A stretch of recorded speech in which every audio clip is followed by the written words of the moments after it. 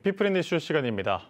전 세계 음악인들이 참가하는 합창대회에서 연이은 수상을 기록하고 있는 한국의 합창단이 있습니다. 바로 빅콰이어 이야기인데요.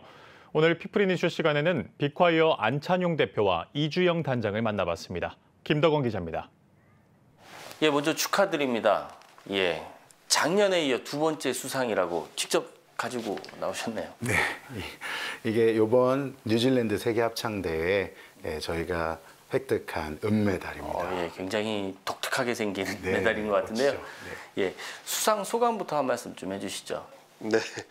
어, 빅화이어가 그 세계 합창 대회 그팝 앙상블 경연에서 은메달을 이번에도 또 땄습니다. 그래서 작년에 이어서 이번에 뉴질랜드 가서 땄는데 너무 행복한 시간이었고 단원들과 아주 으쌰으쌰 붕치는 시간도 되었습니다. 뭐 올, 그 합창대회에 나가서 금메달을 목표로 갔지만 그래도 저희가 은메달을 땄는데요. 금메달이 아니어서 또 은메달이어서 또 감사한 이유들도 있고 그렇게 해서 또 다음 대회도 저희가 꿈꿀 수 있고요. 그래서 아주 감격적인 시간이었습니다. 예, 이 세계 합창 대회 모르시는 분도 있을 것 같아요. 어떤 대회인지 소개를 직접 좀 해주시겠어요? 아, 2년마다 열리는 올림픽이라고 보시면 되는데 합창 노래로 하는 올림픽으로 보시면 되는데요.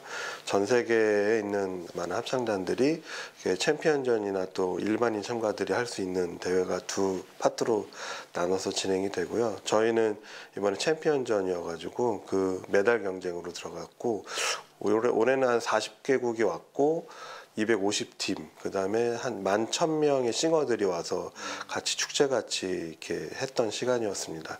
만천 명이라고 하셨죠? 네. 만천 명의 싱어들이 참여한 세계 대회에서 두 번씩이나 어, 수상을 했습니다. 비결이 있습니다. 일단 첫 번째 하나님의 은혜인 것 같고요.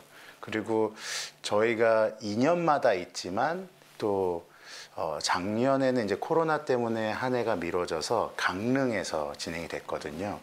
그때는 저희가 언제 또 한국에서 열릴지 모른다라는 마음으로 이번 아니면 안 된다는 생각으로 열심히 준비해서 또 그렇게 메달을 수상하게 됐고요. 그리고 어, 올해는 뉴질랜드인데 뉴질랜드가 가기가 쉽지 않은 나라잖아요. 그래서 이번 아니면 또 안 된다라는 마음으로 또 단원들과 함께 정말 이번이 우리의 인생의 마지막일 수도 있다라는 마음으로 기도하면서 열심히 준비해서 이렇게 어, 은메달을 획득하게 됐습니다. 매번 2년마다 다른 나라에서 열리니까 항상 처음이라는 마음으로 네. 도전을 하시겠네요. 예. 계속 수상 이어지겠네요. 그죠? 아, 네. 저희가 이제 꿈꾸고 있고요. 네. 이제 두 번째 하니까 이제는 어떻게 준비해야 되고 이런 게 조금 더 명확해지고 또 노하우도 생기는 것 같습니다. 예. 이 국내외적으로 굉장히 많은 이 문화 사역 단체들이 있습니다. 그 가운데 이 비카이어만의 어떤 특징과 차별성이 있다면 어떤 것이죠? 빅화이어는 일단 훈련 단체였어요. 그러니까 저희는 잘 가르쳐서 잘 보내자. 그러니까 아이, 아이들이나 단원들이 배워서 보컬로 또 교회에서 사역자 이렇게 활동하길 원하는 게 첫 번째 목표였는데 이후에 이제 하나님이 찬스들을 많이 주셔서 그 대중문화 씬에 저희를 많이 보내셨어요. 그러니까 일반 대중음악 안에 크리스천으로서의 정체성을 가지고 이렇게 음악을 협력할 수 있는 그래서 뭐 그 방송 음악이라든가 또 가수들과 콜라보도 하고요. 또 예배 팀과 콜라보하면서 또 워십 콰이어로도 활동도 하게 되고 그러니까 지금은 사실은 한 색깔만 있는 게 아니고 여러 색깔들이 공존하면서 다양하게 이제 그 합창의 문화를 그 믹스하면서 다양한 그 예배 사역, 대중문화 사역, CCM 사역 이렇게 협력하고 돕고 있습니다. 수상을 두 번 하셨으니까 이제 어쩔 수 없이 세계가 인정하는 사역 단체가 됐습니다. 예.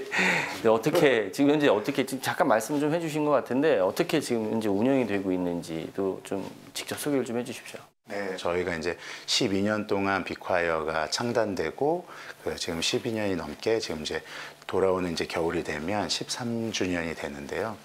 이렇게 계속적으로 어, 등록을 하고 또 함께하는 단원들과 함께 3개월을 함께 찬양하고 훈련받고 또 쓰임 받겠다 하는 게 결단한 아, 단원분들과 함께 3개월의 이제 아, 기간을 두고 저희들이 매주 화요일, 목요일 이렇게 모임을 하고 있고요. 저희가 그렇게 단원들과 또 지휘자님들이 함께 다 연합해서 이렇게 같이 성장하고 훈련하고 있습니다. 이제 또 하시고자 하는 비전이나 꿈이 있으실 것 같으세요. 어떠세요? 네, 지금 이제 저희가 이제 교회 안과 교회 바깥 에서 노래할 수 있는 그런 합창단을 하나님께서 이끌어주고 계셔서 교회 안에서의 사역도 저희가 최선을 다해서 어, 온 마음과 정성을 다해서 찬양을 하고 교회 바깥에서도 또 일반 방송에서도 하나님의 마음으로 노래하는 최선을 다해서 노래하는 아, 노력을 하고 있습니다.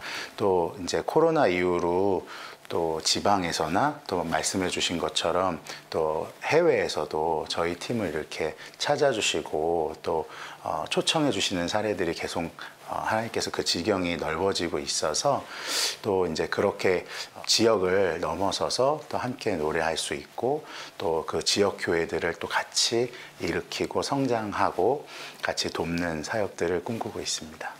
일단은 저희는 좀 하나님 기뻐하시는 사역 하고 싶고 좀 천 명 정도가 저희 단원들을 거쳐 지나갔는데 이분들이 각자 인생에서 어, 주님을 잘 이렇게 흘러보내는 영향력 있는 삶을 살아가면 좋을 것 같습니다.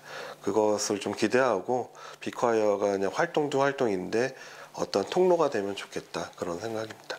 네, 오늘 말씀 잘 들었습니다. 이 비콰이어의 사역이 어, 세계를 복음화하고 또 이 다음 세대를 문화로 또 어, 기독교 문화로 일으키는데 더 많은 쓰임 있으시기를 어, 기대하고 또 기도하겠습니다. 감사합니다. 감사합니다.